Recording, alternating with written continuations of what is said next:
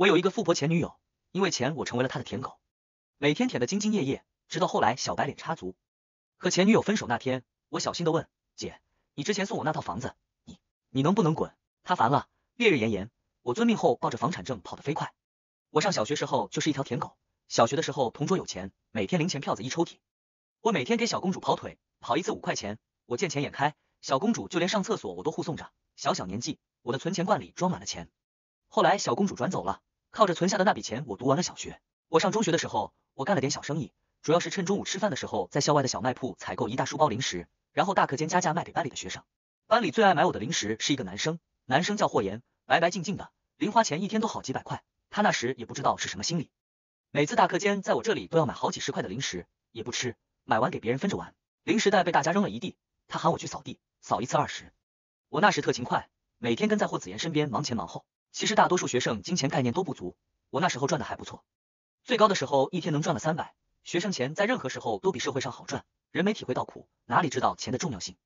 我这人啊，没爸没妈，打小就精，每天就琢磨怎么赚钱。后来上了大学，我为了赚钱特别努力，每天辛辛苦苦赚钱，直到碰见了柳如烟，富二代 plus 版，且花钱无度，简直是天赐送钱人。柳如烟具体是个什么人呢？艺术系的大才女，家里是房地产公司的大小姐一个。我们怎么认识的呢？我是纪律会会长，这已经是我第十二次查到他逃课了。他们辅导员看着查课表，极为愤恨。有钱了不起？那什么，同学，这个名字不用帮他消。他辅导员一发话，我也不说了，每天依旧是记名。终于在放假前，他找过来了。他问我怎么回事，我小心翼翼回答：学姐，我也没办法的，没有办法想办法。他靠在沙发上，烦躁的看着我。我后来还真给他想了办法，我带着大小姐跑了好几趟，是解决了。大小姐对我的狗腿角色非常满意，大约是高兴，又看我穷的不成样子，随手把自己的一个金挂坠给我了，三万的挂坠。我对大小姐表示了我最崇高的敬意。每天早晚安的恭候着。后来有一天，柳如烟问我，我是不是想追她？我心下一紧，小心回复：您是不喜欢我发吗？那我之后不发了。她没说话，许久，对话框里才回过来消息：你是叫齐修远是吧？是的，可爱猫猫表情，JPG 校草霍言，你认识吧？认识的，他有一门挂科。明白了，我这两天帮忙问问。行，谢谢啊。柳如烟不愧是我心目中的富婆，下面还接着发了个红包，五千的，我也没客气，领完立马又回了个感谢的表情包。大约是刚开始收了柳如烟太多的钱，以至于后来谈恋爱的时候，柳如烟对我说的最多的一句话就是齐修远，你就是冲我钱来的。我也没解释，毕竟我本来就拜金，他给的每个红包我都要了，我又配不上他，我一个一无所有的孤儿总要多赚点钱吧。我和柳如烟怎么谈的呢？这还要从霍言说起。说起来，我和霍言还挺有缘分，同一所初中，同一所高中，后来又考上了同一所大学。只是上大学以后，因为专业相差太大，我们就很少联络了，偶尔碰见也能打个招呼。但也仅限于一个招呼罢了。他是学校里的校草，成绩又好，人又帅，家世还好的公子哥。他拥有我想要的一切，也是柳如烟苦追不到，最喜欢的白月光。而我只是柳如烟的全职舔狗。我们俩本来没什么关系，但毕竟柳如烟喜欢他。某天深更半夜，柳如烟给我打电话，问我有没有车。我说有。他说他喝酒了，不能酒驾，随手给我发了个红包，让我去接他。深更半夜，我骑着我破旧的小电驴，大小姐坐在夜店门口看着我，没憋住就乐了。我还第一次坐电车呢。我沉默的看了看自己的二手小电车，这电车多少是有些委屈大小姐了。要不我帮你打一辆出租？柳如烟却难得的好脾气，不了，出租坐着难受，电车就电车吧，刚好能透透气。我接了他，只是他没到学校就开始发起了酒疯，一边小声哭一边碎碎念。他拒绝我了，我第一次表白男生，他居然拒绝了。他是觉得我除了他没人要吗？柳如烟整个在夜风越发的委屈，后来他索性抱住了我的腰，靠着我的背睡着了。少女的手臂柔软，我一瞬间僵住，我只是来接人。被报这个价钱得另算。我车停的时候，柳如烟表白了，她看着我，而是发了个转账两万的，然后走到宿舍楼前又回头。从今天开始，你就是我男朋友了。我愣住，抬头，柳如烟已经走远。我最后还是收了转账，把手机塞进了口袋。大小姐真的很可爱，虽然她可能只是因为被拒绝，面子过不去才拿我找补。我半夜看着手机里的存款，越看越开心，最后乐呵呵的且安稳的睡着了。我有女朋友了，但这件事只有柳如烟知道，她没说，我也没说。大小姐偶尔傲气的给我发个红包，备注过来吃饭，然后是个地址，我就过去了。大小姐真挺好，不但有红包，还省了一顿饭钱。有时候是单人局，就柳如烟开了包间，悠闲的吃着饭。她交际惯了，吃饭慢条斯理的，也看不惯我吃太快，我吞了两三口，她就挑眉，这么快干什么？你先喝口汤啊。小小的一碗汤，我喝一口，抬头看她开心，转而继续干饭。多人局，我会控制一点，控制自己安安静静坐在一旁斯文的吃着自己的，偶尔被点名。就抬头看着说话的人，带着笑容应了，别人问什么答什么，别人不问了就继续吃饭。有人说我一个男生怎么这么安静，让我随意点，我也只是跟着笑笑点点头，然后继续安安静静吃饭。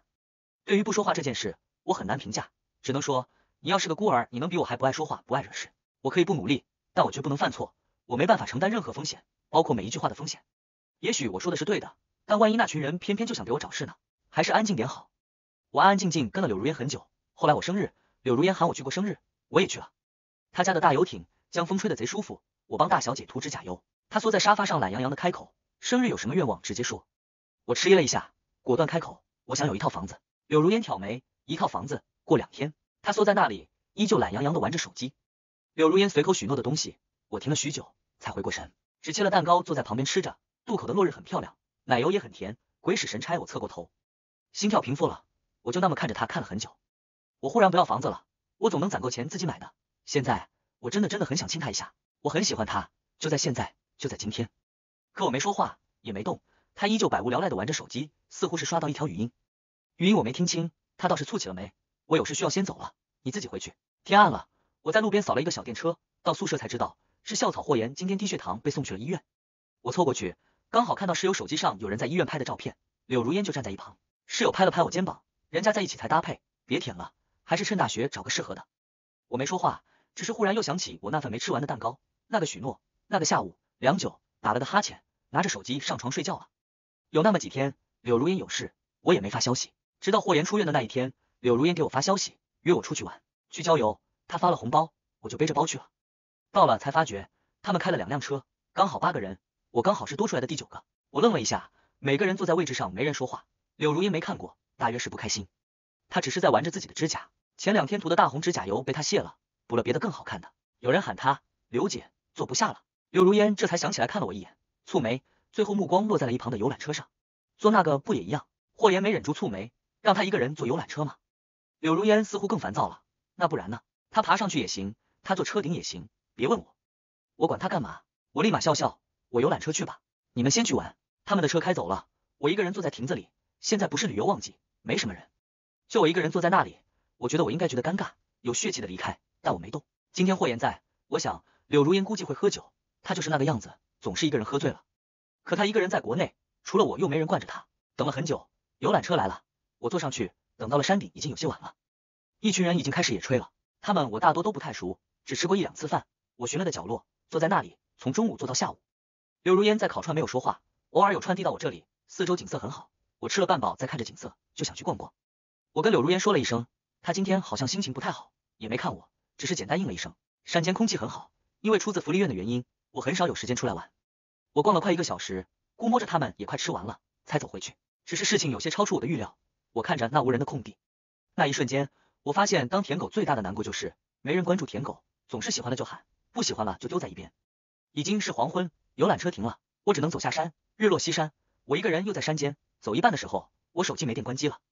我依旧安安静静的走着，这条路有点像是我儿时从福利院出走的那条路，一样昏暗的光，一样逐渐模糊的四周，直至变成密不透风的黑暗。我找不到回家的路，而我爸妈也回不来了。我看着四周，月色下的树影阴森而恐怖。不过还好我不怕黑，但我有点低血糖。我有点晕，但又撑着不敢晕。我在这里晕了会死掉的。后来我整整走了一夜，也下了一夜。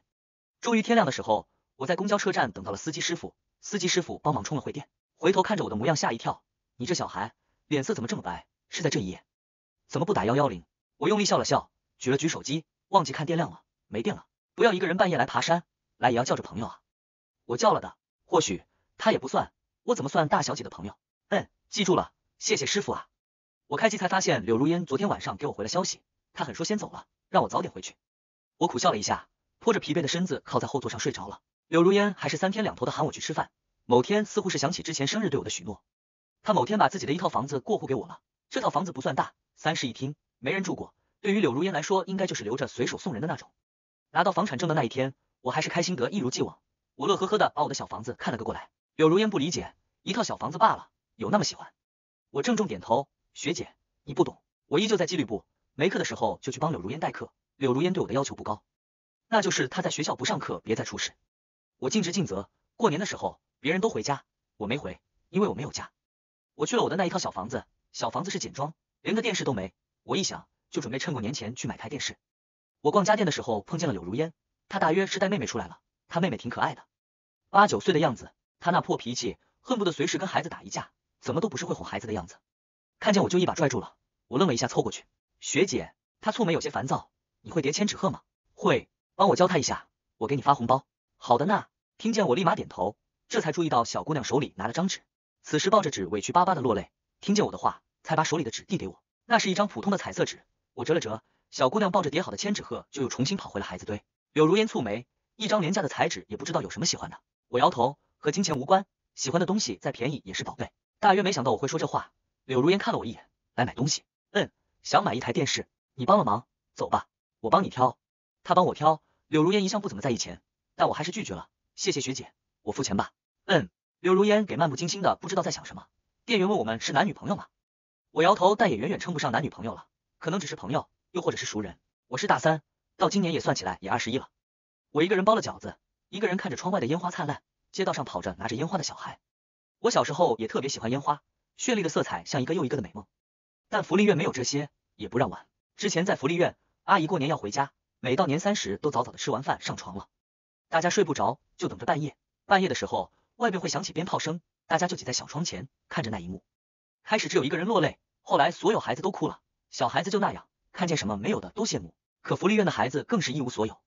今天我看着烟花又哭了，四周是热热闹闹的，我看着天空灿烂的一片，二十多的大男人了，一边笑一边抹泪。有人拽了拽我，我低头，是一个小姑娘，柳如烟她妹，她抱着一个小玩具虎，戴着虎头帽，眼睛亮晶晶的，会叠千纸鹤的哥哥，你叫什么名字？你姐呢？我把小孩抱起来，我叫陈晓，姐姐在那边。我顺着小姑娘指的方向，看见了那一群人，那是上次爬山的那些人，而柳如烟就站在中央。他们买了很多漂亮的烟火，染红了夜色。他们的烟花灿烂而盛大。他们在一起打闹着，那是我永远也融不进去的圈子。我把小姑娘放下，确认小姑娘跑了过去。我退了几步离开了。大年初一，快中午的时候，有人敲门，我才醒过来。柳如烟过来了，我看着她，她把陈晓递给我，她说要找你拜年，闹得不行。哥哥，新年快乐！我没想到还有人给我拜年，找了半天，最后倔强的找了个红纸给他包了个红包。结果他们还没走，就有人敲门。大年初一，人还不少。我开门就被扑了个满怀，哥想我了没？我超想你的，小抱的紧，整个人恨不得掉在我身上才好。我拼死挣扎，周洛洛放手，我才不放。嗨嗨，有人，周洛洛放手了，看着我房间里的抱着小姑娘的柳如烟，略微思考，然后不可置信的看着我，小声道：哥，你为了钱给别人当后爹了？你别太离谱，我是这样的人。你好，还是柳如烟先开了口。周洛洛笑了笑，姐姐好，你好。柳如烟有些别扭，她一向不喜欢应对这种场合。我朋友柳如烟，我朋友的妹妹陈晓，我异父异母的妹妹周洛洛。周洛洛不开心，哥，为什么是亲妹妹？我不能是亲妹妹吗？不能，我没有喜欢妹妹的癖好。则兴趣都是培养的，不行，我吃点亏，你叫姐好了。哥，别走啊，中午吃什么啊？我昨天坐了一夜的火车，又困又饿。哥，去桌边坐一会，三分钟，微波炉热好，我给你端过去。我不，我要自己端，你端烫手。则，那你不烫手，滚！我买了防烫手套。柳如烟在厨房外看了我们一会，最后不太开心，抱着妹妹先走了。周洛洛吃完饭也开开心心回房间睡觉了。回到我房间，我没买被子，家里目前就我的房间能住人。我没想过周洛洛会来，我俩的大学太远了，一个南边，一个北边，光过来就要转四趟车。过年这两天票还不好抢，每年打电话他都是句委屈来不了。今年过年我还特地给周洛洛打电话，他还说没抢到票，这回到来了。结果大年初一他来了，三年不见，当初的小姑娘更娇气闹腾。大年初一，有些大卖场已经开业了，我买了一套被褥，又去买了四件套，光这些就花了我小两千，买完我自己都肉疼，但哪里都能省。周洛洛的被子得好一点，她是易过敏体质，还记得她刚来福利院那天，她被安排到我隔壁床，让我负责先照顾一下，结果她半夜就过敏了。我早上看着猪头一样的小孩，差点吓死，最后反应过来抱着他出门，医生说被子过敏，差点窒息。那之后周洛洛就有了自己专属的小被子，别人不能碰的那种，我是唯一的例外。因为小孩刚来，还不会晒被子、换洗被套。周洛洛好像从那天被我抱着送医院之后，就特别黏我，所有东西她都过敏，就她不过敏。她刚来大约是怕生，跟个刷了胶水一样，整天恨不得把自己粘在我身上才好。小时候一只小豆丁还好抱，现在女大十八变，她都女大了，再挂就不礼貌了。周洛洛一觉醒来已经是晚上八点，他迷迷糊糊就出来找我，一见我下意识的就想凑过来，被我一把推开，才回过来神。哥，晚上好，饭菜自己去热，微波炉手套记得带。你的房间在隔壁，哥，你要看一下我的行李箱吗？嗯。哥，我给你带了礼物。我狐疑的打开行李箱，箱子不大，里面正正的放着一束玫瑰。哥，新年快乐啊！我看着那束花，沉默开口，新年快乐。哥，花里面还有银行卡，密码你的生日，是我最近攒的钱。周洛洛，嗯，没必要。哥，我不是想要干什么，我也不是想逼你什么，不喜欢就不喜欢呗，没什么大不了。我就是来见你，挺开心的。本来想给你买东西，可我送什么都觉得礼物都觉得不好。滚啊！不要吃饭了，带着你的花滚回自己房间。不，我饿。哥。别太感动了，谁感动？早点滚了好。周洛洛在我这住了一段时间，我带着她又买了些衣服，她的衣服很多都需要定制布料，也不是为了装诚意，只是定制布料更稳定。我养了她很多年，毕竟比她大几岁，小时候看着他各种眼馋别人，可那个时候没钱，想给他补补钙都不够，现在稍微有点钱，总想补偿点，虽然也不欠他的。这是我今年第七次逛街碰见柳如烟了，都快撞习惯了。他看着我，脸色不太好看，每次都是冷哼一声。周洛洛不喜欢他，却也没说什么。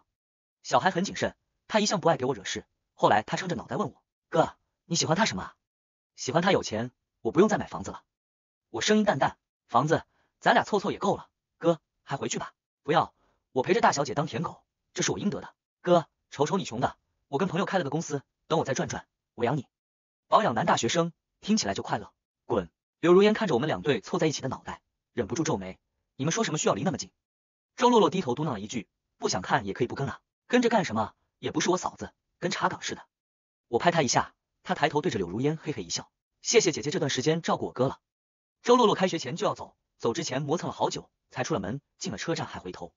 哥，要记得我啊！我点点头。他到了闸口，脑子抽了，又回来抱住了我，委屈的像只小猫似的。我许久伸手回抱了一下，才听他闷声开口：哥，我会想你的。我没说话，只顾着偷偷把银行卡塞他口袋里了。许久，他重新跑回闸机，我朝他挥手再见。等他过了安检。我才指了指他的口袋，他一摸僵住了，再喊声音都有些破音了。哥，我捂着耳朵大步出了门。其实我和周洛洛不见还好，不见的时候只是分享东西，会偶尔想起来，那些感情好像也并不沉重。但一旦见了面，就接受不了离别。我是如何也堵不住心口那块对于离别的难过。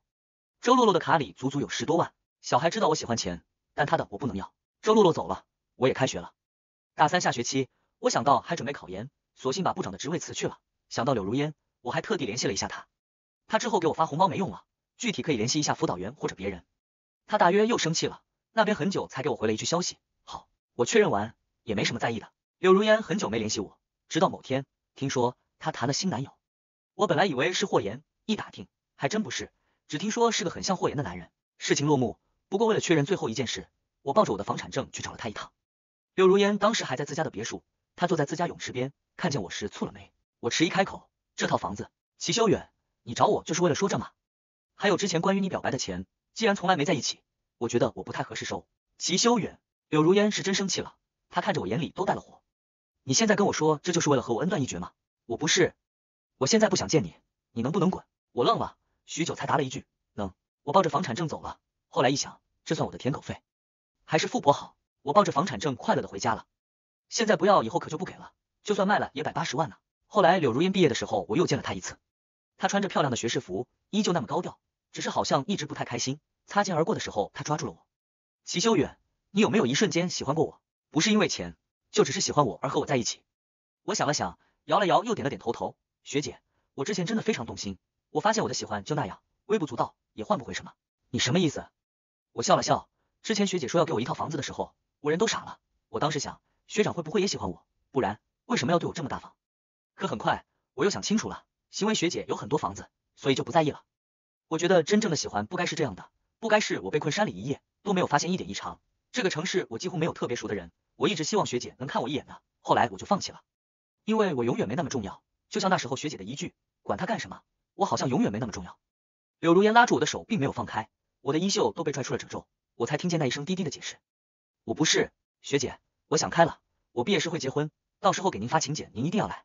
他抬头，有些愣怔。像是有些恍惚，许久才答了一句：“好。”晚番外，柳如烟、齐修远要结婚了。他说那人是他的青梅竹马，可论青梅竹马的话，我们也算吧。我第一次见齐修远，并不是在大学，而且在小学二年级。九几年，当时家里还在发展，还不像现在这么有钱，爸爸妈妈还很忙碌，只会给我一把又一把的零花钱，让我自己买零食来吃。爸妈转进内陆工作时，也把我转进了当地一个公立小学。那个小学的人不是很友善，或者换个方式说，他们霸凌我，因为我有钱。因为我瘦小。当被抢了很多次钱的时候，我告诉了我当时的同桌，我同桌叫齐修远。齐修远学习好又努力，他很忙，可百忙之中总会抽时间把被困在霸凌中的我拉出来。我那时候总是很在他身后，他凶巴巴的说他打架收钱，我就给他钱，反正我有。后来我就习惯了事事有他在。他好像很缺钱，打一场架收我五十，唯一一次收了一百，是在我被霸凌者的男朋友喊同学拽到了男厕所，他们也不打我，就把我堵在男厕所里，堵到了上课。我那时还很小，人都傻了，总觉得自己要活不下去了。后来齐修远又来了，他进厕所时还随手拿了厕所旁的掏粪勺。他开始只是拿掏粪勺拍人，一群人不敢接，来回的躲。但也没有疗效，他们只躲在打不到的地方，就是不放我们离开。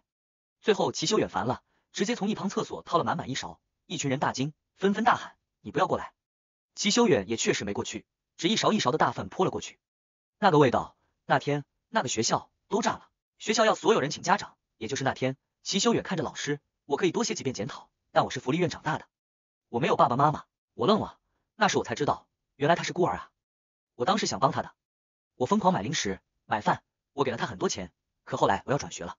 转学前，我找到了我家邻居，我送出了我最喜欢的骑车模型，我请他帮我照顾齐修远。我的邻居叫霍言，他后来也确实那么做了。只是我在国外待了很久，久到我都快忘了这段记忆了。我九岁出国，十八才回来。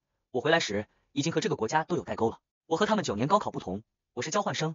我总觉得我看不上这里的一切。我不上课，直到他们告诉我我可能拿不到毕业证，我被父亲骂了一顿。我最后去了学生会。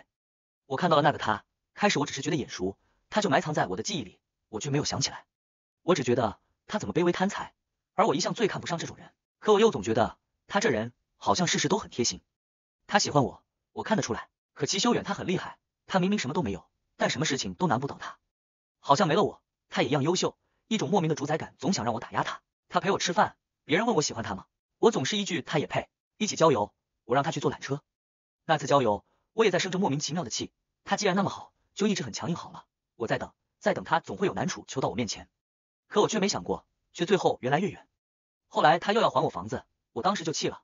他还的不是房子，是想告诉我一刀两断，算干净吧。这房子我不能要，我真的不想算的那么干净。番外，周洛洛，过年，大年三十时比奇出发，给哥一个惊喜。大年初一十三点四十分，妈的，我哥家了。我哥家有一个女孩，还带小孩，吓死我了。拉着我哥的手缓一下。在客厅，哎，这是什么？是高高帅帅的哥哥啊！偷偷抱一下胳膊好了。